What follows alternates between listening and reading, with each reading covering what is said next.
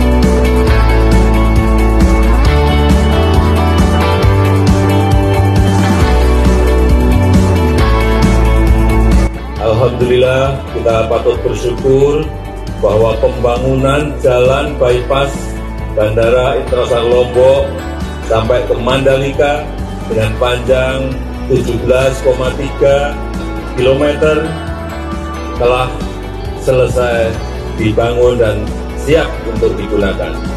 Sehingga jarak tempuh antara bandara dengan Mandalika hanya 15 menit saja. Kemudian juga sirkuit Mandalika dengan panjang sirkuit 4,3 km dengan teknologi aspal terbaru stone plastik aspal juga telah selesai dibangun dan siap untuk digunakan.